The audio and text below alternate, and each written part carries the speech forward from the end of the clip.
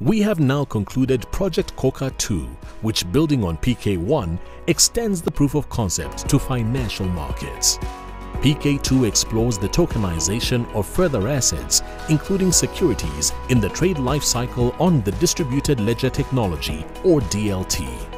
The settlement of the transaction, which moved the security to the buyer and the money to the seller, happened on DLT through a dedicated delivery versus payment contract, which allowed for an atomic swap through a series of verification processes. Here is a brief demo of how PK2 functions the users being signed in. Um, uh, as this is the first load of the day, it, it, does take a bit of time to, to fully load all of our data from both Samos and um, our node. Um, you'll see that the user is able to, at the bottom of the screen, filter through the different transactions that exist both within Samos and the CDBC network.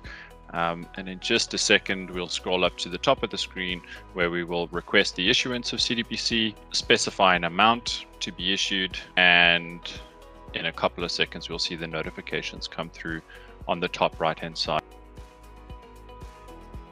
In this way, settlement of two linked obligations using a DVP settlement mechanism is achievable on the platform. As a central bank, we are exploring potential efficiencies, benefits and risks of new technology, including increased transparency in the holding of securities, reduction in costs due to automation, and multiple reconciliation processes.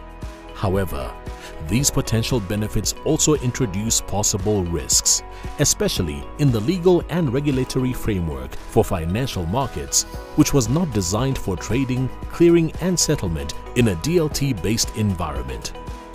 The SARB, together with other regulators, will continue its work in a manner that is appropriate and responsive.